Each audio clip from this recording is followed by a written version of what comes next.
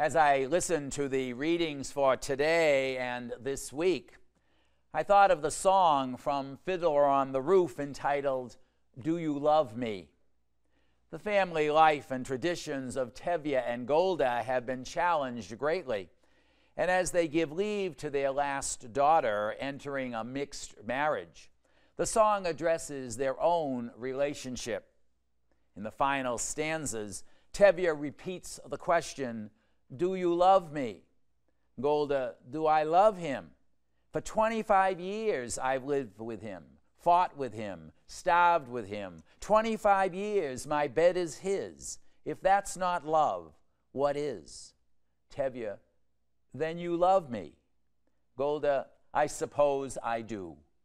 And Tevye, and I suppose I love you too. And they reflect together. It doesn't change a thing. But even so, after 25 years, it's nice to know. From Epiphany to the baptism of the Lord this Sunday, the readings from John and the Gospel ask us that question Do you love me? But more, how do you love me? As Jesus begins his mission and ministry, our relationship in this coming year is confronted and the requirement for true love seems to be rooted in faith and hope. For example, in John's letters this week, John consistently proposes that the love of God demands a leap of faith. After all, he writes, quote, "No one has ever seen God."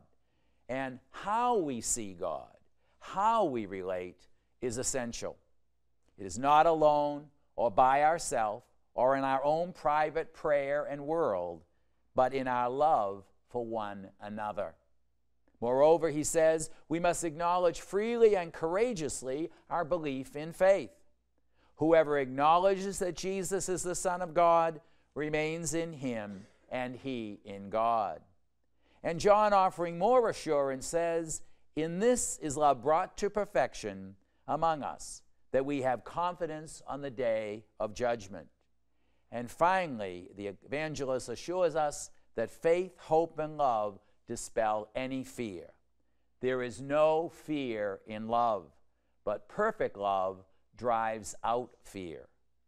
Each of us experiences fear in our lives and on so many different levels fear of rejection, sickness, suffering, loss of relationship, loss of our minds loss of our loved ones, and even our own death. Trust and hope in the God in the Lord's presence and protection is expected of us all. When those fearful times arise in our life, our question might be, God, do you love me? Right now, I need to know. The gospel gives us more confidence in that love from God. In the story of the storm at sea and Jesus coming to them, they were fearful in the storm. And Mark stresses pointedly, they thought it was a ghost and cried out. They had all seen him and were terrified. But Christ's response to them and to us in every one of our anxious moments take courage. It is I. Do not be afraid. Do I love God? Yes, I suppose I do. Perhaps as our relationship with Christ deepens, we can be even more specific than Tevye and Golde and identify more with St. Peter when Christ confronted him about his love. Yes, Lord, you know everything. You know that I love you. And I know that you love me.